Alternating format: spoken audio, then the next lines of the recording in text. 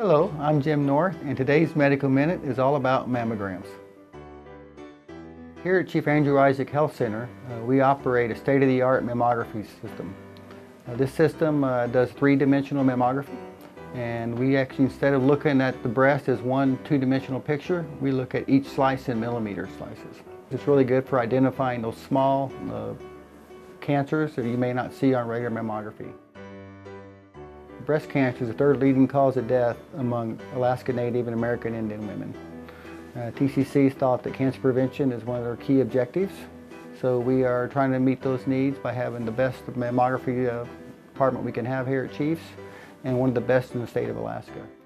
Mammograms are done under, under the order of a physician or your provider. Uh, the provider will see you and order a mammogram. We also enable some walk-in mammograms to be done. Uh, they can come in and uh, we'll still ensure that a provider does an order for you. If you have a suspicious lump or an area that has more concern, uh, you need to see your provider. Uh, you may need a breast exam and your provider may do other tests also. Uh, there are instances where a patient will have to come back for additional imaging and that happens quite frequently. That does not mean uh, you have something wrong, it just means the radiologist wants more images. Sometimes that may be an ultrasound, or it may be just another follow-up mammogram uh, in six months.